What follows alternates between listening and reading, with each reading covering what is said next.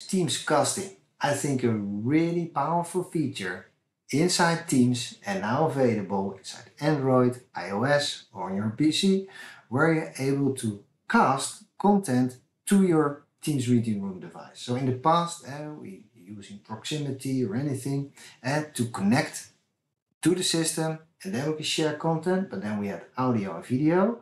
So now with the casting there is no audio and video anymore. We're just using a content channel and to cast to this device. Not directly, it will use uh, the Teams cloud to connect specific to the device. So let me show you here, because I think we're gonna make it a practical thing. Let me show you here how this looks like on my mobile, mobile device uh, and to share a presentation here to my MTR for Android.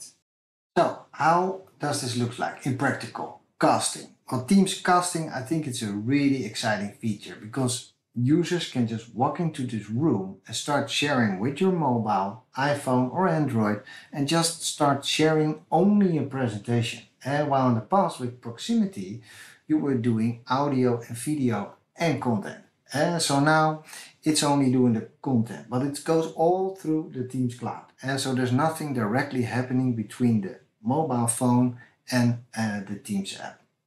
So how does it look like? And so it's all Teams and there's not a separate app using casting. As you can see, it's all Teams.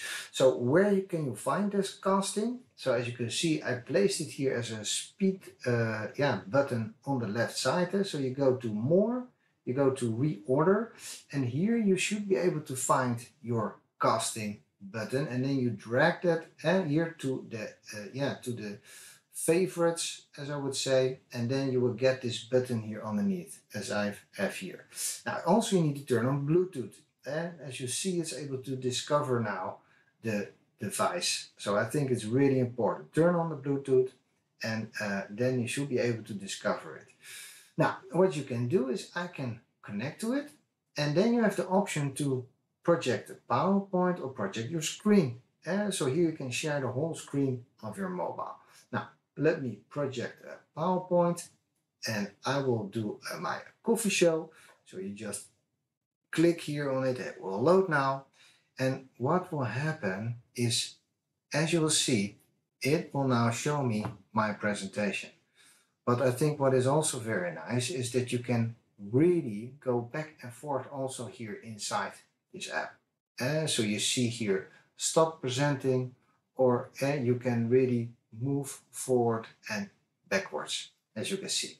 So I can, for example, move on, slide up, and as you can see, slide is moving one up. I think really, really nice. Now also, also what you will see is that on the TC8 you will get your controls, as you see here. So you could even play with some layouts if you want.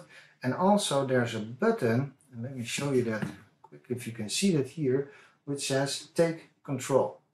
And so I can take control of the presentation and then I can also walk it through. So if I press that, take control, yes, and now you can see, I see here now stop presenting and also I got those buttons. So as you can see, I can also now use the TC8 to move back and forth. As you see here, really, really nice. So you can really move back and forth uh, inside the presentation and I can also stop presenting. So yeah, it's really a very nice interaction on the content only, which I think is really powerful. And I can then take control back here on my mobile. And again, I got now here control again and I can just click on back and we're back into uh, the presentation here from my mobile. I think really nice casting. So it's available. Maybe you need to enable it uh, on tenant uh, level. Get the last software or the app on your mobile and then you should be able to use this feature.